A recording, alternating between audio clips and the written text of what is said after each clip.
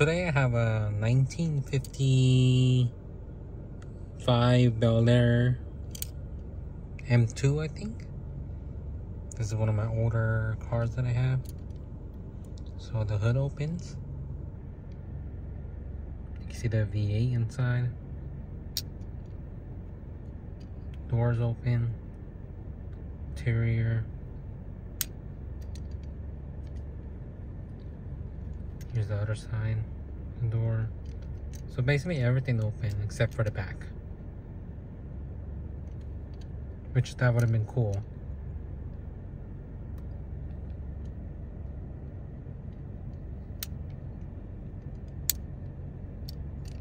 Here's the bottom.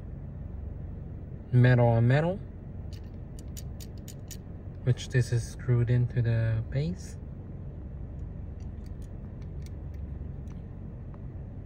You can see it sparkle in the sunlight. I'm in the car, just chilling.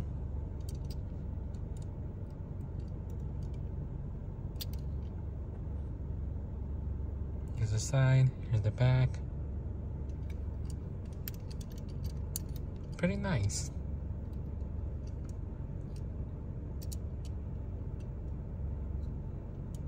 I have two other Bel which is uh, my house, so Yep, that's all.